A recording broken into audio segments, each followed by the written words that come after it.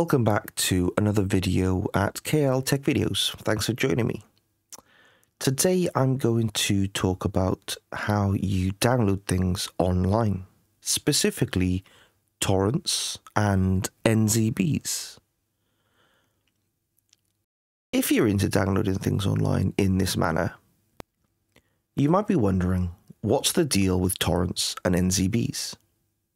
The biggest difference is torrents are all about sharing with other people, while NZBs are like having a fast, private delivery service for files.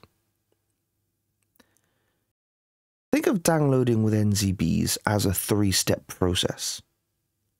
You'll need three parts the Finder, also known as the NZB Indexer. Sites like NZB Geek are your search engines for files on Usenet.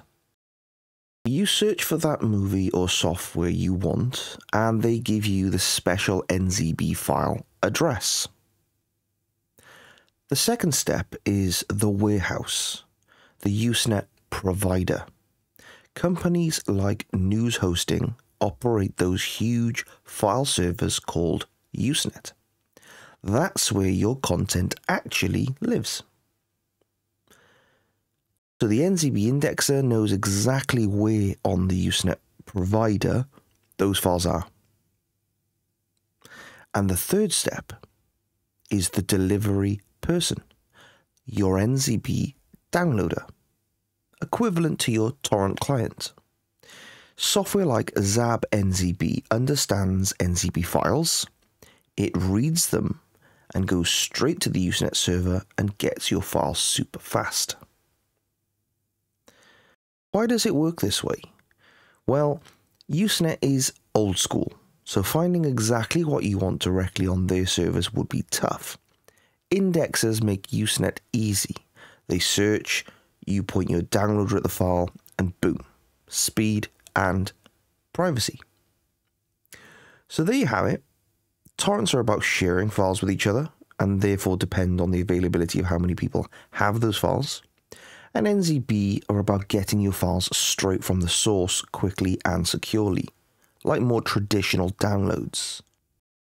Now let's move on to setting up this service. So the first thing we're going to do is we're going to download SABnzb, and all the links will be in the description below. So let's click OK, run at startup, and install. Now you may get a prompt before you start the installation process from Windows Defender. You can just click more information and run anyway. Okay, and we'll double click SABnzb. And that launches the wizard. So simple as we'll click English, start wizard. And this is where we can start putting information in from our content provider. So if I jimmy back on over here, um, these are the three parts I was talking about earlier on. You're going to need something like an index uh, such as NZB Geek. It is paid. It's about £4.70 for six months. That's fantastic value, by the way. Um, and then you're also going to need Newshosting, which is charged monthly, about seven, seven or eight pounds a month, something like that. Um, this is basically the difference between these two, like I said earlier, is indexing. This thing knows exactly where those files are. So when you do a search up here, you can find out where, you know, pretty much anything is. Very rare it doesn't have something you're looking for. Um, but that's why also people say you should use a few different things. Now, a lot of these uh, indexes are actually uh, behind invite only systems. But NZB Geek it, currently, at the time of uh, recording this, is open to anyone. And if it ever does come to an invite only system, subscribers of my channel, I'll do my best to help get you those invites if needed. Now, newshosting.com is basically the provider. It houses all the files that NZB Geek searches. So you need NZB Geek to search files on this provider, which is Newshosting. It has all the files, but it doesn't know exactly. It doesn't make it very easy to find those files, and that's why you're using NZB Geek. You'll notice that it also has 60 connections there. That is basically how many connections you can get from your server to their site, which overall improves speed as well. So that's not too bad either. But I just wanted to clarify those differences, uh, which is great. Now, I didn't get the VPN service with this. I, I chose the option without it because I just don't need it. Um, I do have NordVPN if I want to, But the simple fact that uh, this is on an SSL connection, I just don't see the point of it unless you really want to. I even use AdGuard anyway to encrypt those searches for DNS. Let's not detour too much from uh, this. Um, so yeah, so you're going to need Geek NZB, NZB Geek, uh, and newshosting.com. You're also going to need your downloader, which we just installed, which is SABnzb as well. And additionally, if you want to integrate this with Sonarr, Lidarr, Radarr, things like that, which I do from the Prowlarr end, as you can see here, NZB Geek, um, you certainly can, and I'll show you how to do that in this video as well. So once you're fully registered with NZB Geek, you're fully registered with newshosting.com. By the way, they do give you a trial as well, but the value for money is brilliant anyway. Um, over on the wizard, we're going to take uh, from our Newshosting provider, we're going to take the URL here for the server address.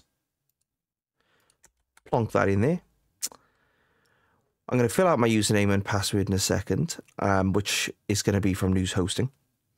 The, the other thing to mention is that in advanced settings, you want to see here that it says connections 8. Well, as we just said, we get 60 with Newshosting, so make sure you pop that in there.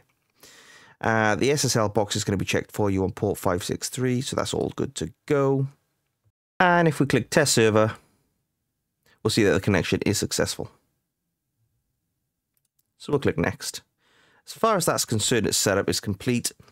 You need to just specify two folders, the download folder for completed files and one for incomplete files.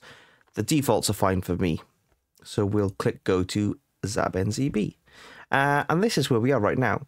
Now, right now, I haven't got anything selected in here.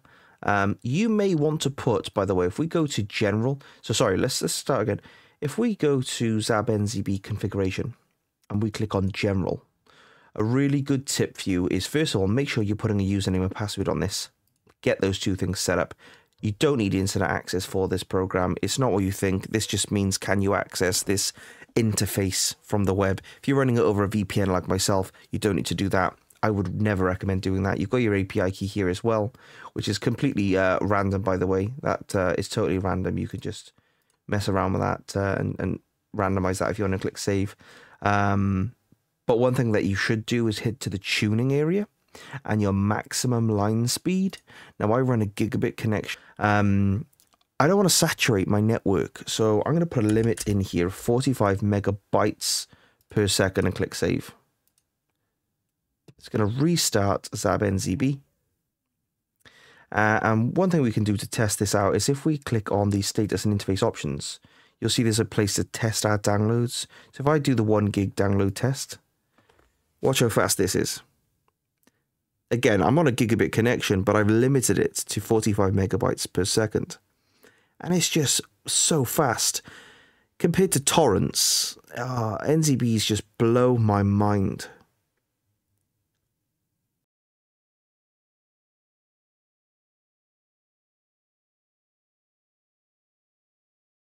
Boom. Done. So we're going to delete the test file. I just wanted to demonstrate that for you. Now we've already put our um, server in here, by the way, our Newshosting server. So that's done on the SABnzb side of things. I mean, really, you're good to go. I mean, you can now go over to your uh, NZB, your geek, yeah, your nzbgeek.info. You can start searching for files at this point, right? Uh, and let me just be clear this isn't um, just for illegal files, things like that, which of course we don't endorse on this channel. But you can download perfectly legal files on here as well, really fast. So you can just click search, find a file you're looking for, get that file, get download that NZB, head over to SABnzb and click add, put those details in there, and away you go. Simple as that. Copy and paste the URL or upload the NZB file and just click add create a few settings if you want to, uh, and you're good to go. But if you're like me and you want to integrate this in Sonarr or Lidarr, for example, the first place you want to go to is Prowlarr. You want to add your indexer, NZB Geek. You want to put your your NZB Geek A API, which, by the way, you get from your My Account section, uh, which will be here for you. I've just changed mine so no one can see it. You'll copy that over into Prowlarr's Prowlarr's uh, API side down here under Newznab.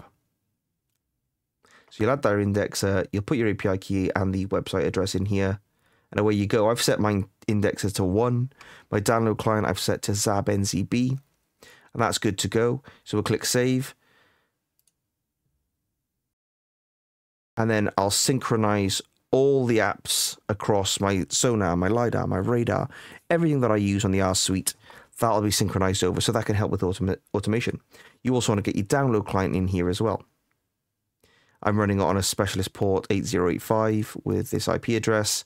Again, your API key, username, password, you can get all that from whatever you've set up in Zap, which you'll find um, on the cog here under general. Whatever you're setting up in here is what you will set up in Prowlarr and Sonarr and things like that. Now, if I go to indexes here, you'll see all my indexes, but you'll see NZB Geek down here. The URL is that of Prowlarr because it synchronized itself over. The API key, everything's taken care of on that side of things. But don't forget to set up your download client, SABnzb. And uh, everything in there. Once you've done that, you can start searching for content. And if, like me on the indexes, you have set NZB Geek to a priority of one, it will search here before everywhere else. And if in your quality you set some sane limits, for example, I've got mine at no more than 3 gig an hour file limit sizes, that'll also help with the NZB because you do get a lot of high quality files on there as well. But you can you can set this up as much as you want and, and, and any way that you want uh, to do. So that pretty much concludes the video. I hope that's been of help to you. Please check out the other videos on my channel for more great self-hosted content uh, and some other great app ideas to run. And I can't wait to catch you in the next one. Thank you very much for watching. Bye-bye.